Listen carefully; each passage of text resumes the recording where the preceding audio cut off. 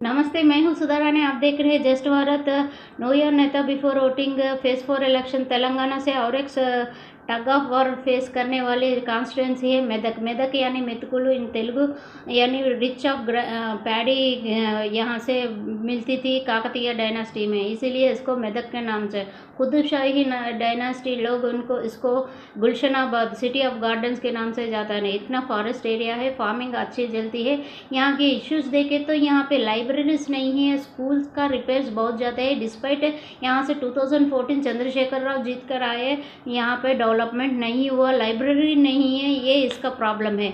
यहाँ पे S C voters sixteen percent है S T four point three total voters है अबव सिक्सटीन लैक्स से twenty forty five polling booths है last time seventy one percent है। सिद्धिपेट, मेदक, नरसापुर, संगारेड्डी, मोटांचेरू, दुब्बाका, गजवेल मिलकर एक कॉन्स्टिट्यूंसी बनती है।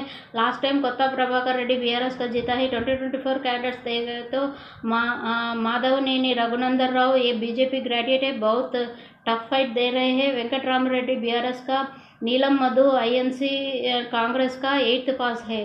तो हर एक पर क्रिमिनल केसेस ज़्यादा है ट्वेंटी नाइन क्रिमिनल केस तक है। तो देखेंगे कौन जीतेंगे, इस दंगल में कौन इस को सॉल्व करेंगे। जय हिंद, जय भारत ऑल द बेस्ट